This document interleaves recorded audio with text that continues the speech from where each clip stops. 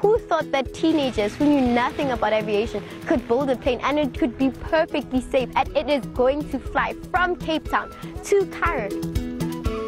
I'm Agnes Gamochetsu Siamela and I built the beautiful wings on this plane and I also built the center fuselage and I also built the horizontal and the vertical stabilizer.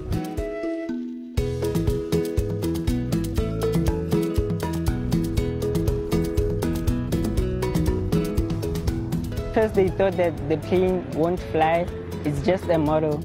My name is Resejo Moroka and I'm 18 years old and I built the central fuselage which is known as the cockpit.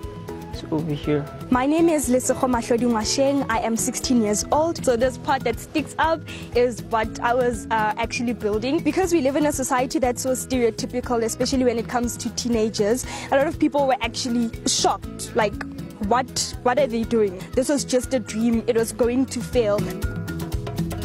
It took us 10 days to build this project, this plane. It was very difficult because you had to read from engineering manuals and you need to have a 3D type of brain to be able to see what you're doing. Building this airplane was not an easy task at all. It came with a lot of challenges, mostly because it was the first time holding, you know, um, some of the tools that we were using to build this airplane. The challenges that I faced was teamwork. But then I learned that if, if I can change my point of view, my own perspective, I can work in a team.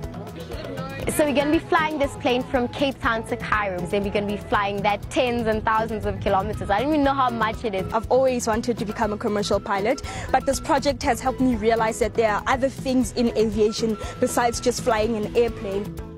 I would like to tell my peers and youth and everyone, if we can build a plane, you can build a spaceship, you can do whatever you want to do.